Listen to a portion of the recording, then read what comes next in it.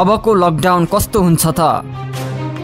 Lockdown बारे छलफलको निष्कर्ष सुनाउँदै डाक्टर कार्की भन्छन् अहिलेसम्म लकडाउन व्यवस्थित नभई लथालिङ्ग भएको र यसले गलत सन्देश गएको सबैको राय रह्यो। त्यसैले अब जुन ठाउँमा संक्रमण देखिन्छ त्यस ठाउँलाई सिल गरेर सबैको परीक्षण गर्ने र त्यसको नतिजाका आधारमा मार्किङ गर्ने बाटो हुन सक्छ।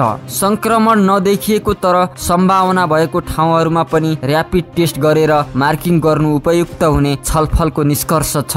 यसरी परीक्षण गरेपछि रेड येल्लो र ग्रिन जोन गरेर मार्किङ गर्ने भनिएको छ। रेड जोन निर्धारण गरेको क्षेत्रमा लकडाउन कडा गर्ने येल्लो जोनमा अलिक खुकुलो बनाउने र ग्रिन जोनमा झन खुकुलो बनाउने। रेड येल्लो र ग्रिन जोन निर्धारण गरेपछि मात्रै लकडाउनको नयाँ मापदण्ड निर्धारण हुने बताउँदै कार्की भन्छन्। कोरोनाको जोखिम नभएको ठाउँमा पनि लामो समयसम्म लकडाउन गर्दा देशको अर्थतन्त्रमा घाटा पर्ने निष्कर्ष निकालेर विज्ञहरूले यो सुझाव दिएका हुन्। डाक्टर कार्कीका अनुसार स्वास्थ्य मन्त्रालय मन्त्रालयको लथालिङ्ग भएको संरचनालाई पुनः संरचना गर्ने पनि छलफल भएको छ। तर यो कोरोना पछि गर्ने कार्ययोजना हो। स्थानीय तह प्रदेश र सङ्घको संरचनाको कारण कोरोना नियन्त्रणमा सरकारले सोचे अनुरूप काम गर्न नसकेको भन्दै विज्ञहरूले पुनः संरचनाको सुझाव दिएका छन्। डेङ्गुदेखि झाडा पखाला लाग्दासम्म स्वास्थ्य मन्त्रालयले राम्रो काम गर्न नसकेको प्रश्न थियो। कोरोनामा पनि त्यही समस्या दोहोरियो। यसो हुनुको कारण मन्त्रालयको संरचना भएको विज्ञहरूले